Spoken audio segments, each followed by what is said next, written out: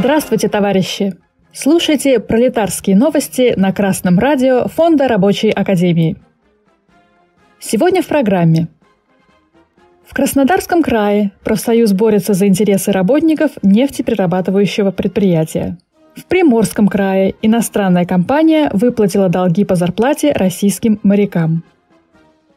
Интернет-дневник Краснодарского края «Живая Кубань» рассказала об увольнении шести сотрудников закрытого акционерного общества «Тамань нефтегаз». По версии сайта, предприятие избавляется от несогласных с новыми правилами начисления заработной платы. В конце марта сотрудники отдела автотранспорта получили уведомление о том, что для них меняются условия трудового договора.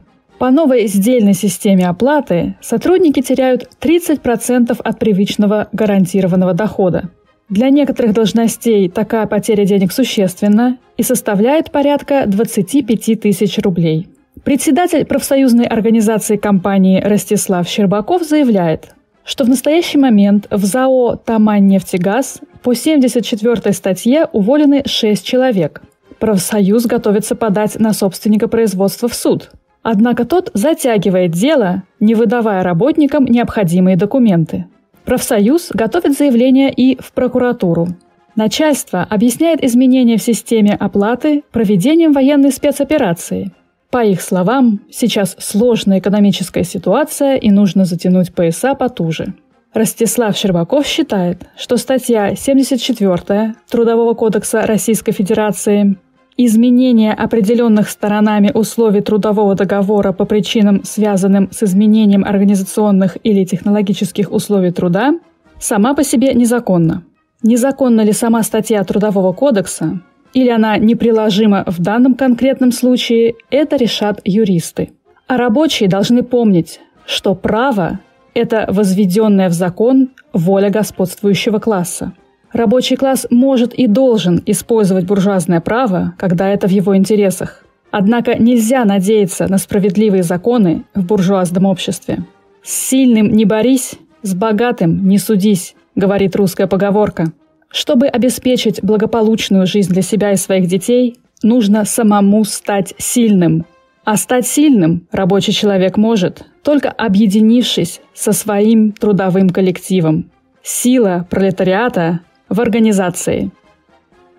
Информационное агентство Дейта сообщает, что в Приморском крае российским морякам была выплачена задолженность по зарплате. Моряки работали по контракту с Northwest Ship Management Ltd на судне Pacific Ray под флагом Доминиканской республики.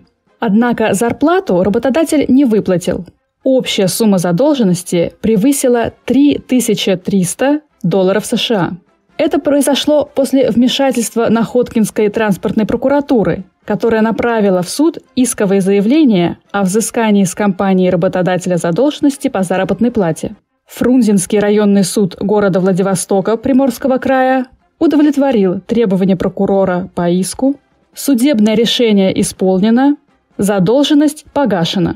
Прокуратура в России довольно часто в трудовых спорах отстаивает интересы трудящихся – и даже иногда сама инициирует проверки и направляет исковые заявления в суд. Но на прокуратуру надейся, а сам не плашай. Товарищи рабочие, пользуйтесь всеми средствами, которые предоставляет вам буржуазное право. Пишите жалобы в прокуратуру, приходите на прием к прокурору и так далее. Однако помните, что это бег наверх по эскалатору, который идет вниз – Буржуазия всегда найдет способ обмануть рабочих и эксплуатировать их дальше. Отдельные капиталисты на своих предприятиях могут изменить способ оплаты труда на выгодный им. Коллективно капиталисты могут изменить законодательство под себя, потому что государство – это аппарат насилия в руках правящего класса. Чтобы стать хозяевами своей судьбы, товарищи рабочие, организуйтесь в профсоюзы, Заключайте прогрессивные коллективные договоры. Создавайте советы. С вами была Оксана Побережная с коммунистическим приветом из Орхуса, Дания.